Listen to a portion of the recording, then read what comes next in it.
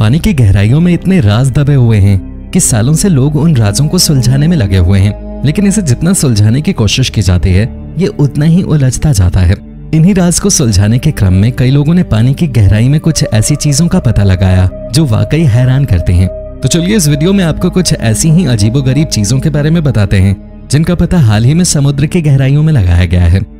Number eight, Bulgarian Atlantis.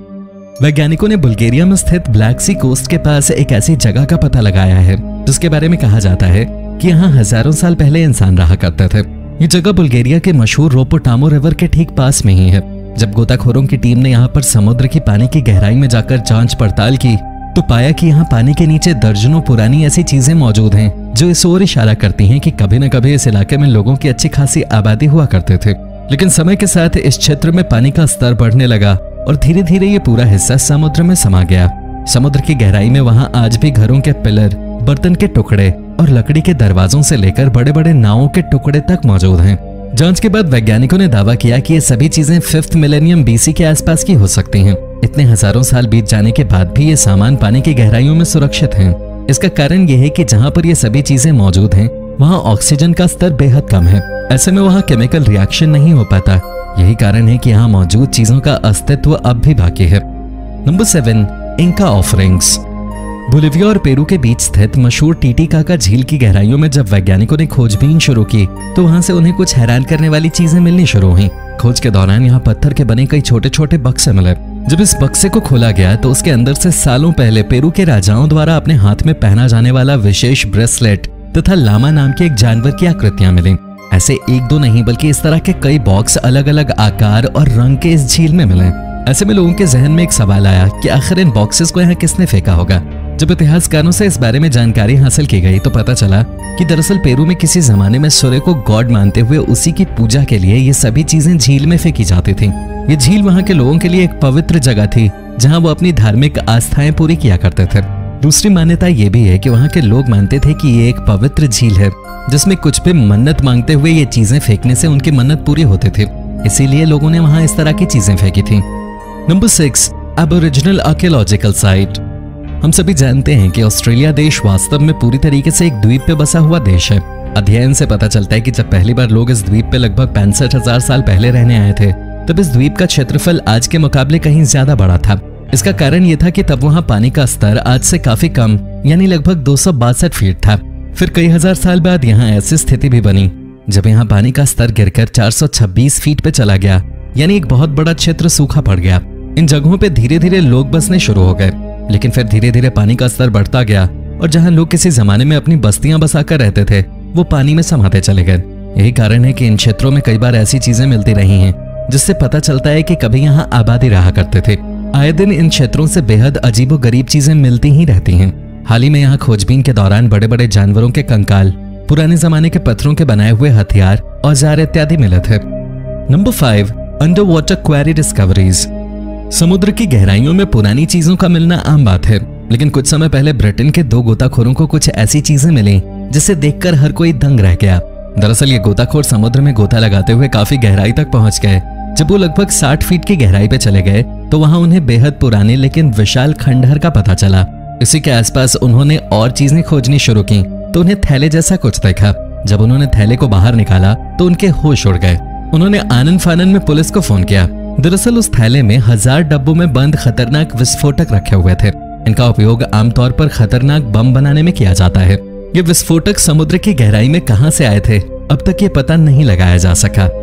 Number four ice age के fossils Gulf of Mexico तथा Caribbean सी के बीच स्थित यूकाटन पेनिनसुला पानी के अंदर मौजूद विशाल गुफाओं के लिए जाना जाता है। जब खोजी दल यहाँ पहुँचा और इन गुफाओं के अंदर खोजबीन शुरू की तो उन्हें बेहद हैरान करने वाली चीज़ें मिलनी शुरू हुई। यहाँ मौजूद गुफाओं में बड़े बड़े जानवरों के कंकाल सुरक्षित तरीके से रखे हुए थे। वहाँ से लगभग 28 बेहद विशाल जानवरों के कंकाल निकाले गए। इनमें से कुछ कंकाल शेर, हाथी, बंदर, जंगली सुअर और बाघ इत्यादि के थे। लेकिन कई कंकाल ऐसे थे, जिनके बारे में पता नहीं लगाया जा सका। वैज्ञानिकों ने जाँच में ये ज़रूर पता लगाया कि कंकाल लगभग दस हज़ार साल पुराने हो सकते हैं। इतने पुराने होने के बावजूद समुद्र की गहराइयों में ये सुरक्षित इसलिए रह पाया, क्योंकि वहाँ पे ऑक्सीजन का दबाव बेहद कम था। Number three, invaluable shipwreck. 8 जून 1708 को स्पेन का एक विशाल जहाज़ बहुत अधिक मात्रा में सोने चांदी और बेशकीमती पन्ने लेकर अपने मंजिल की तरफ़ बढ़ रहा था। इसी दौरान ब्रिटिश सेना ने इस जहाज़ को लूटने के उद्देश्य से उस पर हमला कर दिया। हमले के दौरान इस जहाज़ पर सवार 600 लोगों में से सिर्फ़ 11 ही बच पाए। साथ ही जहाज़ को भारी नुकसान हुआ और देखते ही देखते ये जहाज़ सभी बेशकीमती चीज़ों के साथ समुद्र की गहराइयों में समा गया। उस समय काफ़ी कोशिशों के बाद किसी को भी इस जहाज़ का कोई अता पता नहीं लग पाया। लेकिन 2017 में डब्ल्यू नाम की एक संस्था ने कोलंबियाई सरकार को जानकारी दी। कि जो जहाज़ लगभग 300 साल पहले समुद्र में डूब गया था, वो जहाज़ कोलंबिया की समुद्री सीमा में मौजूद है। इस जानकारी के पता लगते ही आनंद फानन में कोलंबियाई सरकार ने कानून बनाते हुए घोषणा कर दी कि जहाज़ के कोलंबियाई सीमा में होने के कारण जहाज़ पर उनका ही हक है। लेकिन जिस संस्था ने जहाज़ की लोकेशन का पता लगाया था, उसने भी इस पे दावा कर दिया कि इसमें कम से कम आधा हिस्सा उसका भी होना चाहिए। जब ये खबर बाहर आई तो स्पेन और ब्रिटेन ने भी इस पे दावा कर दिया। इस जहाज़ पर एक के बाद एक देशों द्वारा दावा करने की बड़ी वजह यह है कि इस जहाज़ में इतने सोने, चांदी के सिक्के और जेवर रखे हुए हैं कि आज उनकी कीमत 20 अरब डॉलर से भी ज़्यादा है? इसलिए हर कोई उसे हथियाना चाहता है। हालाँकि ये जहाज़ फ़िलहाल कोलंबिया की सीमा में है, इसलिए इस पर कोलंबिया अपना अधिकार जता रहा है। कोलंबियाई सरकार ने इस जहाज़ को जल्द से जल्द वहाँ से निकालने के लिए अभियान शुरू करने की भी तैयारी शुरू कर दी है। अब आखिर में ये खजाना किसका होता है, ये तो समय ही बताएगा। Number two, Roman ship in Croatia. हाल ही में क्रोएशिया में गोताखोरों की एक टीम ने लगभग 200 साल पुरानी एक नाव का पता लगाया है। गोताखोरों की टीम इसी तरह समुद्र की गहराइयों में गोते लगा रही थी। इसी दौरान इनका सामना कुछ अजीबोगरीब चीज़ से हुआ। जब उन्होंने करीब जाकर देखा तो ये एक बेहद ही विशाल नाव था।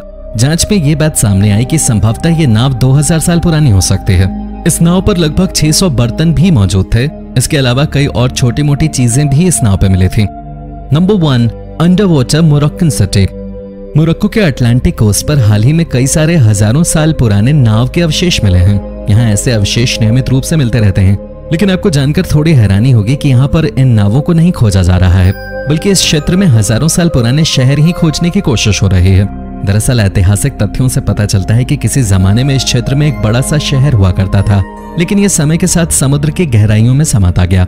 उसी शहर को खोजने के लिए इन क्षेत्रों में लगातार आर्कियोलॉजिकल डिपार्टमेंट अपनी खोज करता रहता है। इस दौरान समुद्र की गहराइयों से मानव कंकाल समेत कई अजीबोगरीब चीज़ें प्राप्त होती रहती हैं। अब देखने वाली बात यह है कि जिसकी ये तलाश कर रहे हैं, वो कब पूरी होते है। तो दोस्तों, ये थी आज की वीडियो। वीडियो कैसी लगी आप कमेंट बॉक्स में ज़रूर बताएँ। साथ ही इस वीडियो को लाइक और शेयर करना ना भूलें।